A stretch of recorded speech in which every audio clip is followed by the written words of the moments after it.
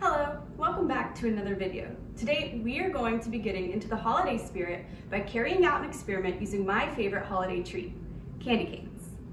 In this experiment, we are going to be practicing our prediction and observational skills while also having some fun.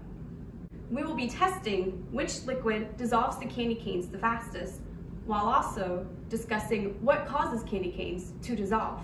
Before we begin, we need to gather all of our materials for the experiment. You're going to need four full-size candy canes, four glass jars, I recycled these from pasta jars. You're also gonna need four different types of liquids. Here I'm using hot water, cold water, vinegar, and oil. If you don't have those, you can use any of the liquids you find in your house as long as they're safe.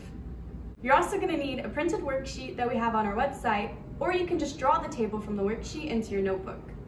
Finally, you're gonna need something to write with and a stopwatch. You can use your phone like Wally is, or an actual stopwatch. Before we begin the experiment, we first need to predict what is going to happen. Write your prediction in the form of a sentence at the top of your paper. For example, I predict that the hot water will dissolve the candy cane fastest because I've put a candy cane in my hot chocolate before and that dissolved it very quickly. Now it's time to begin the experiment. First, place your jars in a row on a flat surface. Then unwrap your candy canes and prepare your timer. To avoid missing out on fun observations, I would suggest doing one jar at a time. I'm going to do all four jars at once for the sake of time in this video. Once your candy canes are unwrapped, your jars are filled, and your timer is ready, go ahead and put your candy canes into the liquids and start observing what happens. You may notice immediately that your candy canes begin to dissolve in some liquids and others it doesn't.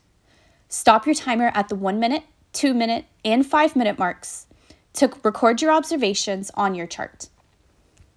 There are several things that you may observe take place. For example, I observed that my candy cane lost its red coloring very quickly in every liquid except for the oil. I also noticed that as soon as I put them into the liquids, they began to bubble up and dissolve almost immediately. Now that our experiment is finished, we can compare our results to our predictions. Did your results match your predictions? After watching those candy canes fizzle out, I'm sure you're wondering what causes that reaction to take place. The answer is sucrose, also known as sugar.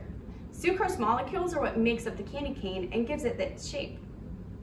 Sucrose molecules are binded together very tightly, but when they're exposed to liquids, those molecules begin to break down, especially if they're put into a warmer liquid like the hot water that we used. This is because the hot water's molecules are moving quicker and they have a lot of thermal energy. So when you expose those sucrose molecules to the hot water, they begin to break down. Thank you so much for watching this video. I hope you learned something fun and new today. Be sure to like, subscribe, and if you want more information about CAESER, go to our website, which is listed in the description below.